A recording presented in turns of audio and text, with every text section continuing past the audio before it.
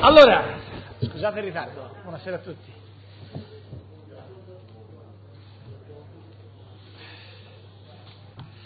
Dunque, eh, il Consiglio dei Ministri ha eh, approvato il DEF su cui, ragazzi, l'acustica di questa sala lascia molto a desiderare. Il Consiglio dei Ministri ha approvato il DEF su cui il Ministro Padoan credo potrà intrattenervi, anche se devo dire che è stato particolarmente, aspettavo molto più lunga la relazione, oggi Galletti ha detto una cosa divertente, ha detto, eh, mi ha, mi ha, non soltanto mi ha convinto, ma se non fosse un economista, come ha detto, potrei pensare che sono anche, che sono anche cose vere, una cosa del genere. Considerate che peraltro il Ministro Padoan ha vissuto questa giornata con grandissima difficoltà, non per le considerazioni che voi immaginate, adesso ah, tensioni, sc- beh, per le quattro giornate al... No, non c'è da ridere, eh, stamani mattina peraltro è stato oggetto di una lunga discussione circa la, la, la, la, prova TV e la correttezza di questo intervento, ma io non posso dire niente perché sono Presidente del Consiglio e non vorrei entrare in vicende che non... Stiamo parlando di destro, del centravanti della Roma e il ministro Padoan è notoriamente un tifoso laziale, per cui su queste cose le, le soffre. Ehm, al di là delle, delle, battute c'è anche una parte di lavoro del Consiglio dei Ministri che vi lascio, eh, lascio al comunicato di Sensi eh, che riguarda le nomine, le nomine, diciamo più che le nomine, le deleghe dei singoli ministri. Ehm, l'attribuzione di incarichi come è doveroso che sia senza portafoglio ai ministri. Eh, mi sembra importante che il Consiglio dei Ministri abbia anche cioè, le, le, le, singole questioni del Consiglio dei Ministri ve le risparmio, andiamo sul, sul DEF se siete d'accordo. Io ho una rapidissima introduzione. Questo è un documento molto serio, molto rigoroso, voi sapete che il DEF eh, per definizione è un documento nel quale le, le, le, previsioni che vengono fatte sono spesso oggetto anche di discussioni, credo che dobbiamo alla um, storia anche personale di Piercarlo per il lavoro che ha svolto sia diciamo, nella vita precedente, prima di fare il ministro, eh, il rispetto che si deve a mh, previsioni che io ho definito rigorose, lui stamattina mi ha corretto dicendo semplicemente serie, però insomma noi la crescita la stimiamo allo 0,8, che è diversa dall'1,1 su cui era stimata eh, e tutti gli interventi che noi abbiamo immaginato sono interventi che abbiamo, non posso dire sottostimato perché non sarebbe corretto, altrimenti non saremmo seri, nemmeno rigorosi, ma che abbiamo guardato con, diciamo, estrema prudenza o aderenza alla realtà, mettiamola come credete, in altri termini. Chi tra voi immaginava di poter utilizzare questa occasione per dire ma guarda i numeri sono ballerini, volatili, partono di qua, partono di là, si scontra con un dato di fatto che a partire dalla previsione della crescita del 2014 stiamo non soltanto a ridurre rispetto al passato ma a dare dei numeri che io spero, sinceramente spero che saranno smentiti in positivo. Sarei quasi pronto a scommettere se non fosse che ho appena votato una cosa che dice 0,8 e che ovviamente rispetto. Il ministro Paduan vi illustrerà il ragionamento complessivo. Io sono molto felice del fatto che il suo intervento è partito dal piano nazionale delle riforme che costituirà anche la base sul documento per la stabilità e la convergenza che mandiamo in Europa fine mese, 20 aprile, una cosa del genere, 22 aprile, fine mese, quindi, eh, e che sarà valutato che sarà valutato nel mese di maggio e che, i cui esiti verranno fuori all'inizio del mese di giugno, perché l'importanza delle riforme è assolutamente centrale e strategica. Quando dico riforme dico riforma elettorale, riforma istituzionale, riforma costituzionale, la riforma del mercato del lavoro, le riforme che troverete nel sommario del eh, PNR, nel sommario più in generale del DEF, che credo siano molto molto significative. Cioè, le riforme non sono semplicemente un punto d'orgoglio di questo governo o vedo che sulle riforme avete aperto il dibattito tra di voi, però eh, un elemento fondamentale perché ormai l'abbiamo promesso. Le riforme sono la precondizione della ripresa economica. senza riforme non c'è credibilità con i nostri concittadini, si dice non c'è credibilità in Europa, sì, ma prima ancora non c'è credibilità con i nostri concittadini e le riforme sono un assoluto eh, impegno morale da parte nostra. Eh, so che su questo tema tutti i giorni ce n'è una nuova, eh, io capisco anche l'ansia di visibilità che hanno alcuni, alcuni anche ehm, che appartengono al mio partito, che appartengono ad altri partiti, c'è questo bisogno eh, di, di dimostrare che, che si esiste anche lanciando delle ipotesi che non hanno alcuna possibilità di essere realizzate, come se dopo 30 anni ci potessimo permettere il lusso di tornare a una discussione eh, tutte le volte da capo, dicendo no ma guarda sì avete raggiunto un accordo su quello, però se ripartiamo da capo potremo fare un'altra cosa perché ben altro, benissimo, noi rispettiamo tutti, tra l'altro la settimana prossima discuteremo ancora nel dettaglio, oggi la riforma del Senato e del titolo V e del CNEL è arrivata in Senato dopo che è stata eh, verificata come prescrive la Costituzione e le leggi dal Presidente della Repubblica, non, eh, per, per, per, seguendo l'iter naturale delle leggi costituzionali, però le riforme sono fondamentali. Eh, e io confermo qui in questa sede, e ho sostanzialmente chiuso la parte introduttiva, c'è cioè soltanto da fare un passaggio poi sulle coperture e lasciare la parola a Padoan, confermo in questa sede tutti gli impegni che ci siamo presi, da quelli presi fin dalla sede della consultazione al Quirinale, o meglio dell'incarico e dell'accettazione dell'incarico pubblica amministrazione nel mese di aprile, avete visto che sul lavoro si è fatto il decreto e si è presentato il disegno di legge a marzo come avevamo detto, quindi impegno rispettato, pubblica amministrazione ad aprile, il tema del fisco a maggio, il tema della giustizia a giugno. Noi andiamo avanti mantenendo gli impegni. Certo, in questo ci stanno tutte le considerazioni di cui stiamo discutendo in questi giorni.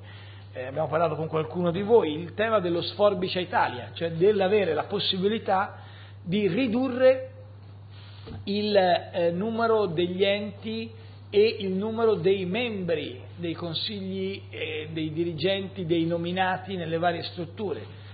E questo è il punto fondamentale. Se tu dici alla politica che grazie al lavoro che abbiamo fatto non ci saranno più consiglieri provinciali, assessori provinciali e presidenti di provincia, non ci saranno più senatori pagati eletti direttamente, allora hai l'autorevolezza morale per poter dire, beh signori, anche nel mondo della pubblica amministrazione bisogna iniziare a stringere, a stringere la cinghia. Questo è l'elemento di novità vera su cui credo che non si stia riflettendo a sufficienza. È in corso una rivoluzione sistematica in Italia che sta portando non semplicemente a riformare un ente, ma a continuare un percorso scandito da un metronomo delle riforme che stiamo mantenendo giorno dopo giorno, che porta a dire siccome la classe politica inizia a stringere la cinghia, adesso tocca anche persone, alla classe dirigente. E per questo confermo l'impegno sullo Sforbice Italia, confermo l'impegno sulle municipalizzate locali, le municipalizzate sono per definizione locali, non è possibile permetterci un eccesso di società municipalizzate, da ex sindaci possiamo dire che il governo ha il dovere della chiarezza nei confronti degli enti locali, perché in passato si cambiava idea ogni tre mesi, c'era un decreto nuovo, un disegno di legge nuovo, ma guarda adesso arrivano a discutere questo emendamento e cambiava tutto e si ripartiva da capo. E confermo gli impegni sia sulle scuole che sull'idrogeologico. Ehm, rispetto alle coperture dell'operazione degli 80 euro, che è la cosa su cui eh, tanti di voi hanno scritto o discusso in questi giorni dicendo non ce la fa, perché poi è bellissimo avere la possibilità di eh, lavorare insieme a voi. Quando fate le paginate e ci raccontate che cosa andrebbe sforbiciato ci siete molto utili, per esempio. È straordinario vedere come alcuni giornali stanno dandoci una grandissima mano nell'andare a individuare i casi di spreco, di difficoltà, un ruolo che l'informazione naturalmente svolge come tanti altri. Però eh, accanto a questo eh, c'è anche una costante previsione di stavolta non ce la fa, dicevo va a prendere l'incarico, non glielo dà l'incarico, prende l'incarico non ce la fa a fare il governo, prende il governo non ce la fa a fare metà donne e metà uomini, ce la fa a fare metà donne e metà uomini, adesso ci si fa a fare questo, no, è come l'imitazione di Crozza a proposito quando fa un architetto celebre, possiamo fare grandi disegni, fare... no, No, non si può fare. Non si può fare. Ecco, tutte le volte è così. Dopo la conferenza stampa che avete amabilmente definito della televendita, e vi sono grato per lo sforzo eh, intellettuale e ideologico che avete fatto, è accaduto che si diceva le coperture non ce le avrà mai. Benissimo, allora torniamo alle coperture, così sulle coperture possiamo chiudere e dare la parola a Padoan per la parte seria della conferenza stampa. 10 miliardi di euro di taglio di cuneo fiscale, ok? L'avevamo detto non nella conferenza stampa della televendita del pesciolino rosso, ma l'avevamo detto in Parlamento quando ci eravamo impegnati per un taglio del cuneo fiscale a doppia cifra partì la discussione, ma che è il 10%? No, è andata male, sono 10 miliardi. La copertura per il 2014 è una copertura che riguarda due terzi del periodo, perché parte, come ricorderete, dal 1 maggio al 31 dicembre. 8 su 12 sono due terzi e quindi la copertura è di 6,7 miliardi di euro. Questa copertura, che sarà ehm, inserita nel decreto che presenteremo venerdì 18, poi vi dico perché, non perché è venerdì santo eh, e di passione, ma perché necessita eh, del passaggio del DEF in Parlamento che avverrà il 17 per sbloccare una parte eh, delle coperture, quelle relative all'IVA. Adesso vi, vi spendo una parola su questo. Questo tipo di copertura è così formato: 4,5 miliardi dalla spending, che è, ehm,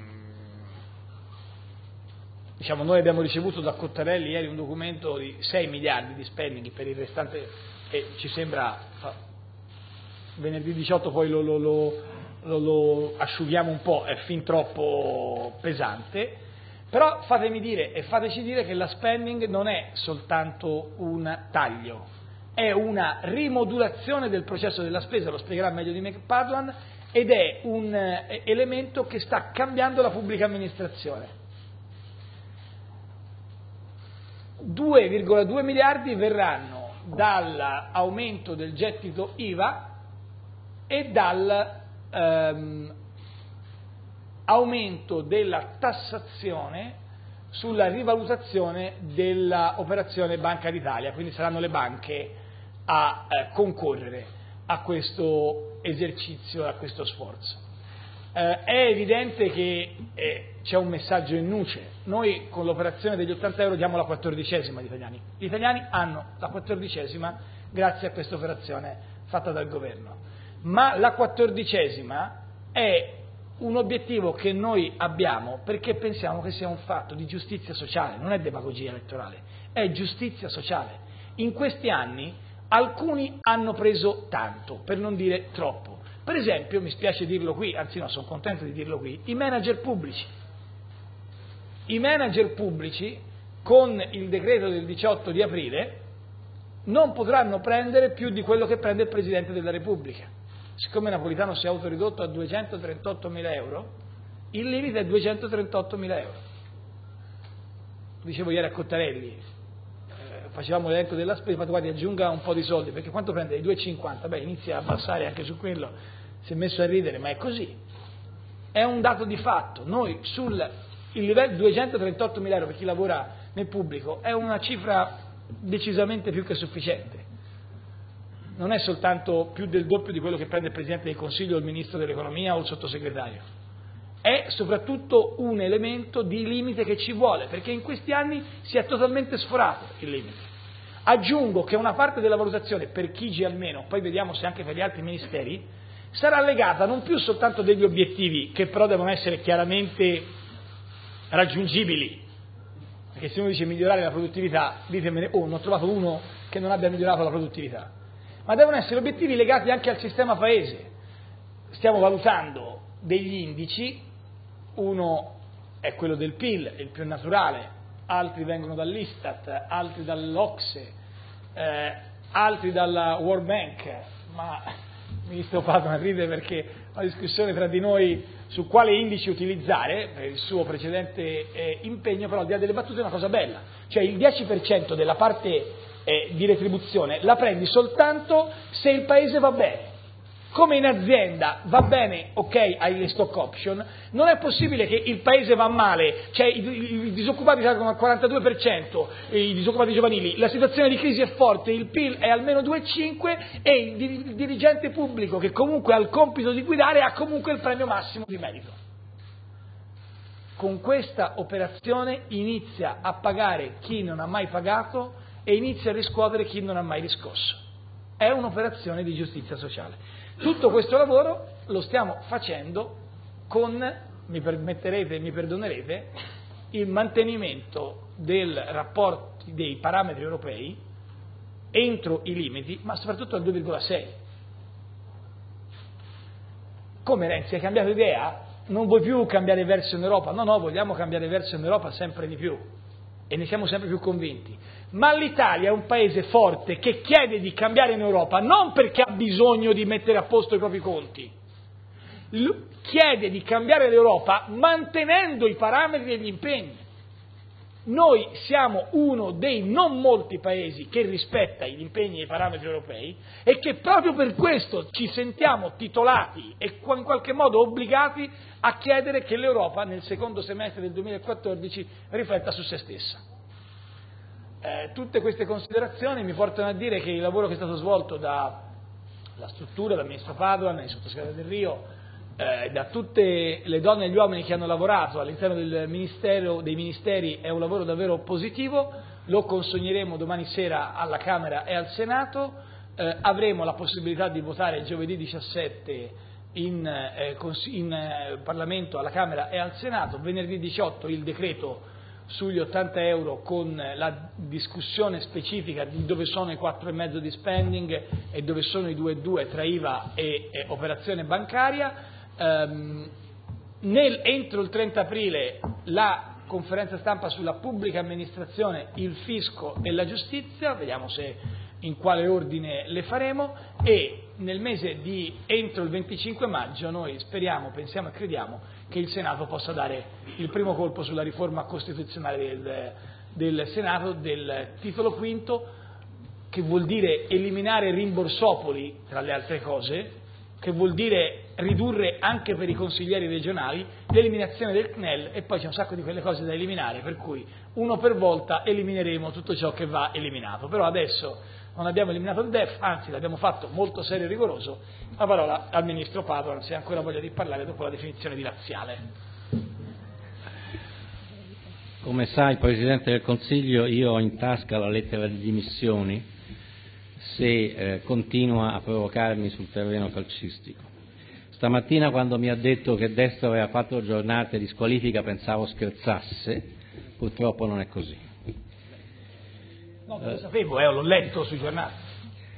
Eh, vi rubo due minuti, poi passiamo, immagino, alle domande per eh, offrirvi una brevissima guida alla lettura di questo documento che, come vedete, è molto voluminoso, che però ha una struttura semplice. Il DEF si compone di due parti, il Piano Nazionale di Riforma e il, piano, e il Patto di Stabilità, cioè una parte che riguarda i cambiamenti strutturali e una parte che riguarda la sostenibilità di, finanza pubblica e la crescita. Sono due parti che si completano a vicenda, questo è un punto che io vorrei sottolineare.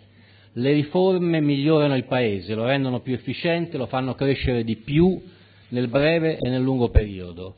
Questo permette di guardare in modo diverso alla finanza pubblica, aprire spazi consenzienti di uso migliore della finanza pubblica e aumentare la credibilità del Paese, che si traduce, come vediamo fortunatamente, in ricompensa da parte dei mercati. Questa è l'idea di base, che è un'idea semplice ma che funziona, almeno questa è la mia esperienza a livello internazionale. E un altro elemento è che le riforme vanno viste assieme, si completano a vicenda. Datemi, fatemi dare un esempio.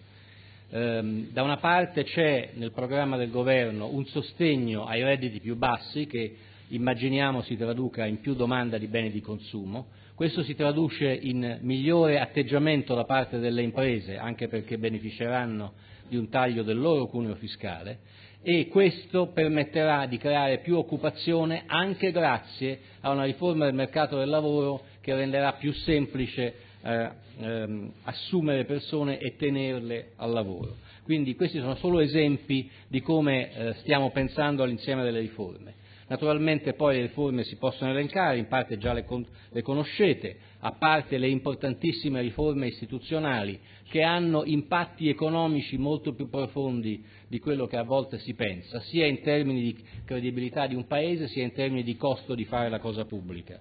C'è un capitolo fiscale che riguarda l'abbattimento delle imposte, che sarà dettagliato con il prossimo Consiglio dei Ministri, sia per le famiglie che per le imprese, si tratta di una misura strutturale perché sono tagli permanenti e come tale ha bisogno di una copertura permanente, altrimenti non è credibile. C'è un grosso sforzo di eh, semplificazione della pubblica amministrazione, condizione essenziale per far funzionare le altre riforme. Possiamo scrivere leggi bellissime, ma se la pubblica amministrazione non funziona questo non si traduce in un impatto vero. Privatizzazioni che hanno il duplice obiettivo di eh, far pervenire a, abbattimento del debito risorse importanti, ma anche di rendere più efficienti le imprese a partecipazione pubblica. Naturalmente la Jobs Act e tutto quello che ha a che fare con il mercato del lavoro, questo già lo sapete, meccanismi di eh, pagamento dei debiti della pubblica amministrazione che non sono soltanto una misura temporanea per sbloccare i debiti ancora pregressi, ma includeranno misure permanenti di semplificazione ed efficientamento dei sistemi di pagamento, in modo tale che noi immaginiamo eh, ingolfamenti del pagamento dei debiti saranno una cosa del passato e questo è anche un cambiamento strutturale. E infine la eh, revisione della spesa che, come diceva il Presidente del Consiglio, ovviamente serve a fare risparmi permanenti, ma serve a guardare ai meccanismi di spesa in un modo diverso, anche qui si possono ottenere nel medio periodo, non, dimentichiamoci che la spending review non è soltanto qualcosa di quest'anno, è qualcosa che ha un orizzonte temporale di tre anni, che eh, metterà eh, la pubblica amministrazione, la gestione della cosa pubblica su un sentiero diverso. Questa è la parte strutturale, poi c'è la parte macroeconomica e di finanza pubblica, è stato già ricordato la stima del punto 8% di crescita del PIL, che io ritengo una stima ragionevole, e eh, un percorso di aggiustamento della finanza pubblica sia dal punto di vista dell'indebitamento che rimane al 2,6 sia dal punto di vista dell'aggiustamento strutturale che è praticamente in equilibrio l'anno prossimo e contabilmente in equilibrio nel 2016. Colgo l'occasione per dire che quello che noi diremo in Europa, e noi lo stiamo già dicendo sia negli incontri europei che in quelli internazionali, Qui passa un elemento fondamentale per cambiare la politica in Europa. La politica in Europa per la crescita si fa combinando assieme riforme strutturali e spazi di manovra di bilancio, facendolo seriamente, abbandonando le ideologie e ragionando assieme. Questo sarà uno dei temi fondamentali della Presidenza italiana dell'Unione Europea ed è qualcosa a cui noi arriviamo con i compiti fatti, con le riforme avviate ed è una cosa, e ne sono profondamente convinto, che interessa tutti i paesi dell'Unione Europea. Il messaggio dell'Italia è un messaggio che serve a tutti, ovviamente serve anche a noi, ma serve a tutti. Eh, mi fermo qui, eh, ovviamente adesso passeremo alle domande, ma ribadisco il punto. Questa è una strategia complessiva, frutto di un'azione complessiva del governo intero ed è questa una delle ragioni fondamentali per cui avrà successo. Grazie per Carlo, io farei, se siete d'accordo, cinque domande perché siete pronti poi per i TG, quindi vai. Prima cinque domande insieme, una, due, dai. Marco Galluzzo del Corriere della Sera, volevo chiedere se nel decreto che varerete il, eh, prima di, di Pasqua si può prevedere un intervento anche per gli incapienti, cioè coloro che sono stati... Oh. Vai. Ah, quello è il tuo microfono. No, no, è, quel... è il suo microfono. Vabbè. Te soddisfatto dopo la cosa di ieri? Soddisfatto rimborsato? Soddisfatto. soddisfatto. Io sono venuto puntualmente Vai. all'invito che lei mi ha fatto. Allora, a parte il tetto dei 238 mila euro, lei si impegna a un maggior controllo sugli aumenti ingiustificati degli stipendi di molti manager pubblici, come ad esempio è successo a parecchi manager della Presidenza del Consiglio che in piena spending review nel 2011-2013 hanno avuto aumenti di stipendio in totale controtendenza e considerevolissimi. Però questa è la domanda di ieri, comunque rispondiamo anche oggi. Eh, ehm, incapienti, manager. Angela Mauro, Huffington Post. Occhio sempre sui tetti Sempre sui tetti e sul tetto agli stipendi dei manager pubblici mi chiedevo se il decreto del 18 varrà anche per le società quotate. E poi, eh, due domande. No, veloce, se può circostanziare di più.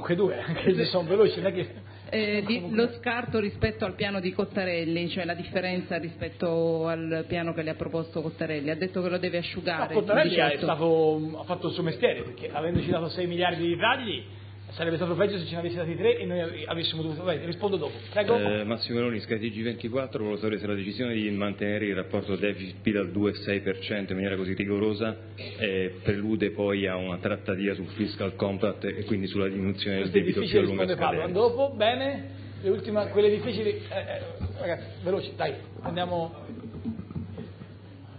Alberto Gentili del Messaggero, si è parlato nei giorni scorsi di un rientro più lento del, rispetto alla discesa del debito, è confermato questo intendimento in sede europea? Anche questo è Padoan, bene. L'ultima e poi facciamo un po' di risposte, un po' di risposte per Carlo. Sul punto della, delle riforme costituzionali, in particolare del Senato, se eh, eh, da parte sua c'è stata nei giorni scorsi una piccola apertura verso la revisione insomma, della riforma del Senato, se conferma questa apertura, in particolare dalle richieste che arrivano sia dall'interno del PD che soprattutto da Forza Italia. Ottimo, l'ultimissima. Eh, troppi, dai. Capodanno Anza, eh, sul fronte delle privatizzazioni se ci può dare qualche dettaglio Padua, in più. bene. Dai, domande femminili, non è iniziato una domanda, c'è soltanto Angela Mauro.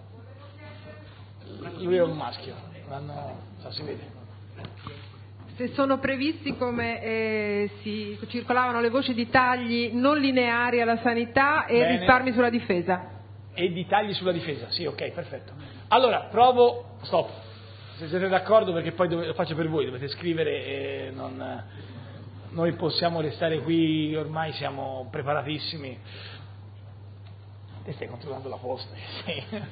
Va bene, allora molto rapidamente le domande incapienti, sì c'è una uh, soluzione tecnica uh, che riguarda anche almeno diciamo, l- l- l- i cosiddetti incapienti, ricordo le regole del gioco, per dire gioco è una delle operazioni più importanti, noi diciamo che quelli che, hanno, che ricevono eh, meno di 25.000 euro lordi all'anno, che significa più o meno 1.500 euro netti, e sono, se non consideriamo gli incapienti, perché se consideriamo gli incapienti totali sono più di 10 milioni di persone, diciamo sono 14, 15, quindi dice, i, i, numeri poi ve li presenteremo, sono 10 milioni più 4 di incapienti, questo è il concetto.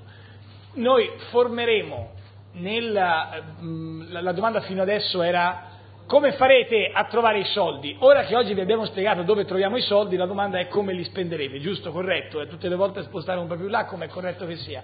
Il 18 ci sarà nel decreto l'individuazione, direi, fascia per fascia, anche perché il 18 il decreto è lo strumento attraverso il quale le aziende pubbliche, ma anche le aziende private, poi dovranno fare fisicamente le buste paga.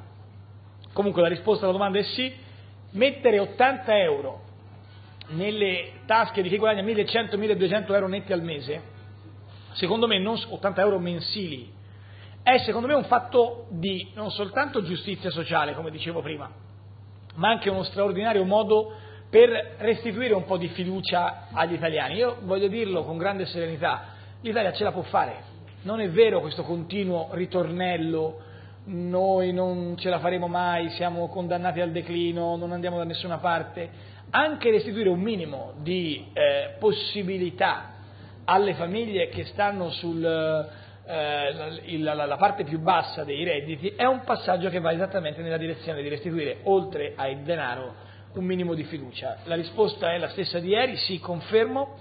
Questo è un passaggio veramente importante e significativo per l'Italia. Per la prima volta c'è un limite che è un limite davvero rilevante.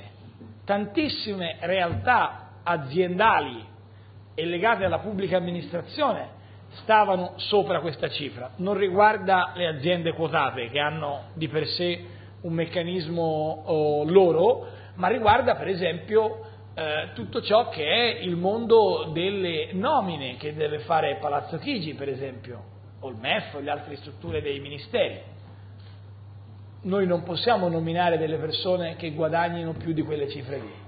E, mm, io sono affezionato a Adriano Olivetti che diceva che eh, un, lavora, un amministratore delegato di un'azienda non deve prendere più di 10 volte.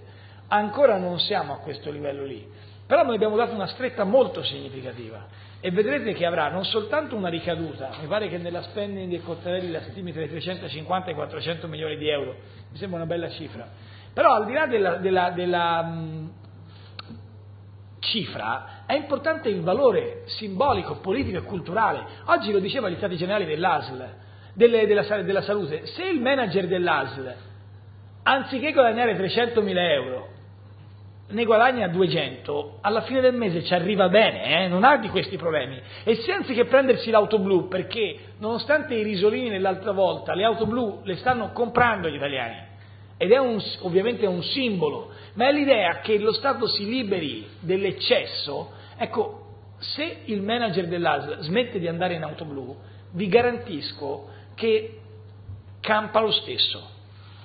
Eh, la domanda ulteriore della Mauro era su Cottarelli ha proposto un taglio molto ampio, lo verificheremo nelle prossime ore. Eh, che Carlo tornerà da New York, eh, da Washington, scusami, per il fondo per gli eventi internazionali eh, domenica e quindi da, da, lunedì lavoreremo, abbiamo da lunedì a venerdì di tempo per eh, completare le scelte. Non ci saranno tagli lineari, è evidente che, che cosa vuol dire taglio alla sanità. Vorrei essere chiaro, in prospettiva sulla salute spenderemo di più, non di meno perché? Perché si invecchia.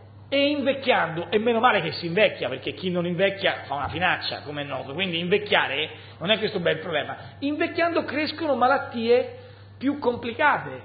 Quanti di noi hanno in famiglia casi di Alzheimer o di demenza? Quanti di noi hanno malattie diverse? Questo significa, lo diceva oggi la Lorenzin agli Stati Generali della Salute, ripensare al modello ospedaliero, ripensare... dopodiché ci sono delle regioni che fanno un lavoro egregio, ottimo, straordinario Volete che vi dica che, ne dico due, ne potete dire tante altre, ma ne dico due, l'Emilia Romagna e il Veneto, ne prendo una di sinistra e una di destra, hanno avuto in questi anni un'attenzione ai costi davvero meritevole di, di, di, di valorizzazione? Sì, altre regioni hanno, minore, hanno avuto minore attenzione. E allora noi dobbiamo essere capaci di incidere sulle spese di queste regioni. E essere capaci non si può fare soltanto con un documento, bisogna essere anche in grado di picchiar duro se serve. Io direi di aver finito le domande facili, non mi pare che ce ne fossero altre che erano rivolte a me, no, chiedo scusa, l'ultima è quella sulla riforma costituzionale, mentre lascerei al Ministro Padoan tutte le risposte sui eh, numeri e l'Europa. Eh, Padoan ci ha spiegato oggi con molta chiarezza nella discussione in Consiglio dei Ministri, ma lo troverete qui spiegato con altrettanta nettezza, che il tema delle riforme è anche un tema economico, è un tema di credibilità a livello internazionale, ma è un tema di recupero di rapporto con i cittadini. Noi abbiamo bisogno di dire ai cittadini che i politici fanno i sacrifici, il modello di politica economica che stiamo predisponendo è noi diamo la quattordicesima a chi guadagna meno di 1500 euro perché tagliamo ai super manager e perché tagliamo i costi della politica. Tra l'altro spero che anche gli organi costituzionali accettino il principio dell'equiparazione al Presidente della Repubblica.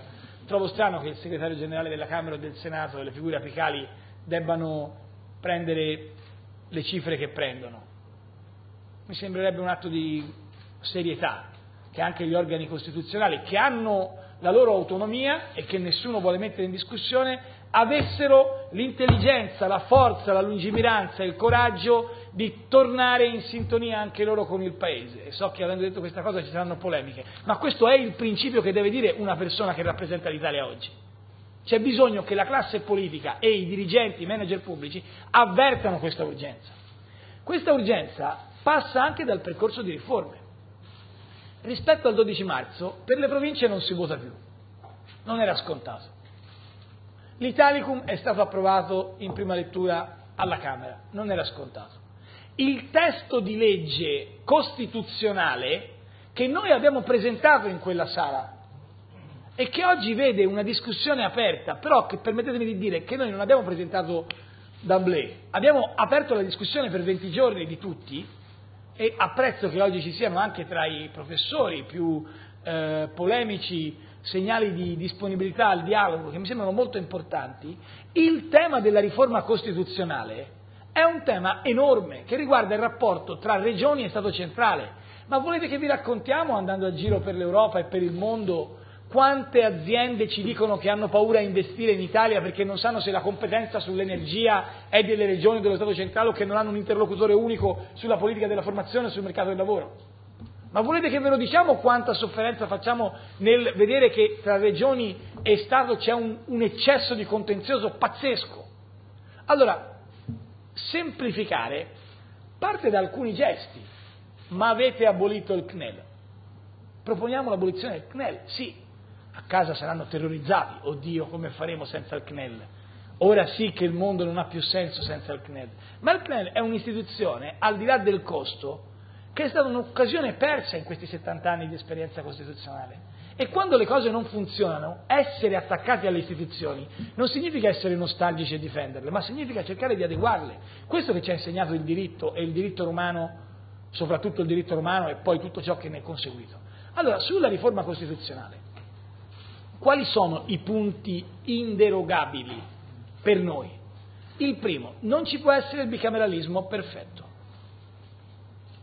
Cioè non si può far sì che il Senato voti la fiducia, che il Senato voti il bilancio. Abbiamo inserito un tema che è quello che il senatore, rappresentando le autonomie, non sia, non abbia un'indennità. E, noi immaginiamo che il Senato sia un luogo nel quale le autonomie e i territori, come succede in quasi tutta Europa, abbiano un luogo di confronto anche con esponenti della società civile, la famosa discussione dei 21 che lei conosce, è chiaramente che non abbiano indennità. Non facciamo la riforma del Senato per risparmiare, anche se pensiamo che si debba risparmiare e che i risparmi che arrivano dalle province dal Senato sono in quota parte dentro il ragionamento della spending, nel 15, nel 16, quelli delle province nel 14. Però questa storia del Senato è una storia enorme, perché leggere, sentirsi dire che il punto è conservare l'indennità ai senatori, per di più anche da realtà come il Movimento 5 Stelle, mi sorprende, mi colpisce. Avevo capito che erano nati per altro, non per difendere le province e per difendere le indennità dei senatori. E comunque nel rispetto che si deve ai 5 Stelle o anche a chi dentro i vari partiti eh, cerca di discutere di questo, ho letto oggi che c'è una... Mm, posizione di alcuni autorevoli esponenti della destra che dicono che su queste cose eh, vogliono approfondire. Io so che l'impegno che noi abbiamo preso a Nazareno è un impegno che oggi vede la maggioranza che sta al governo e l'opposizione di Forza Italia convinti sul fatto che non ci sono più casi di rimborsopoli perché si eliminano i rimborsi, l'indennità del consigliere regionale è quella del sindaco del comune capoluogo, che il Senato viene superato, che non c'è più l'indennità e l'elezione dei senatori e che c'è finalmente chiarezza sul titolo quinto e sul rapporto tra Stato e Regioni. Sono convinto che questa cosa vada avanti. Io sono ottimista e fiducioso. Quanto al mio partito, se la domanda è dal mio partito, al di là di qualche senatore in cerca di visibilità, che cerca probabilmente anche, che nei fatti prova a oscurare il lavoro di tantissime donne e uomini del Senato del PD, il Partito Democratico ha discusso di queste cose per anni. Ha messo ai voti con le primarie le varie proposte, ha votato due volte in direzione la discussione, ha fatto più volte riunioni dell'Assemblea dei Senatori, l'ultima stamani, la prossima il Presidente Zanda l'ha convocata per martedì, discute ed è pronto a fare delle modifiche, perché molte delle cose che noi abbiamo proposto possono essere naturalmente cambiate, si può migliorare, ma qual è l'idea di Stato che presentiamo? È un'idea di Stato più leggero, dove i cittadini possono pensare che chi fa politica la fa per un periodo limitato di tempo, non la fa per sempre, non la fa per prendere dei super stipendi, la fa per servizio. Questo è il punto centrale. E siccome il PD a queste cose ha sempre creduto e continua a credere, io sono assolutamente ottimista che su queste tematiche porteremo a casa il risultato. Il fatto che questo risultato avrà delle ripercussioni e delle ricadute anche a livello europeo è tema che lascio volentieri al Ministro dell'Economia anche per rispondere alle altre domande più legate al debito e ai numeri. Grazie Presidente. Allora, tre domande. eh, vogliamo mantenere i numeri giusti per provare a cambiare le regole europee. In qualche modo questo è vero, sicuramente per cambiare le regole europee bisogna avere il rispetto dei partner europei e questo passa innanzitutto per la serietà con cui gli impegni vengono presi e portati avanti e questo su due fronti, finanza pubblica e riforme strutturali. Io penso che questo programma che vi abbiamo esposto oggi vada esattamente in quella direzione ed è il tema, ripeto, che la Presidenza italiana dell'Unione Europea porterà avanti. In che modo possiamo far ripartire la crescita e il lavoro con gli strumenti che abbiamo e con strumenti nuovi o modificando gli strumenti che abbiamo. Assolutamente eh, rispettare i vincoli sia perché fa bene a noi sia perché ci permette di cambiare gli altri. Rientro del debito è più lento? Beh, eh, quest'anno il debito è stato, eh, recentemente il debito è andato su invece che scendere per una serie di ragioni importanti che vi ricordo, innanzitutto perché L'Italia, che è uno dei maggiori paesi dell'Unione Europea, ha contribuito per la sua quota parte al finanziamento dei cosiddetti fondi salva Stati e siccome siamo un paese grande dobbiamo dare più soldi. Punto primo. Punto secondo, alcune delle operazioni che hanno aumentato il debito sono importanti ma sono anche state richieste, suggerite dall'Unione Europea come le misure di rimborso del debito della PA e questo va benissimo, è importante che si faccia, ha come implicazione un aumento del debito.